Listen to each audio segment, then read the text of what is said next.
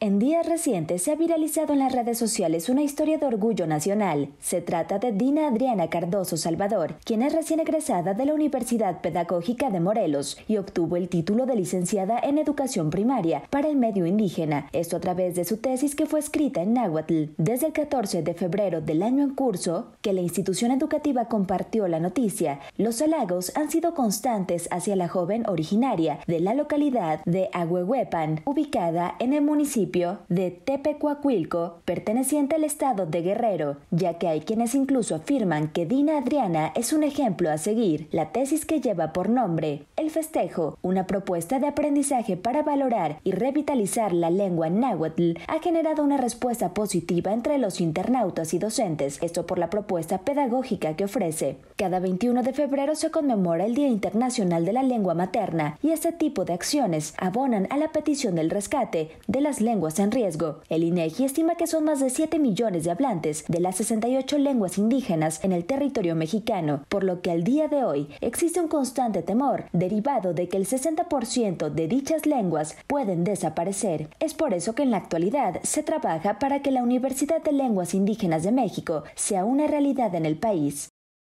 Informó para Canal 13 Camila Islas.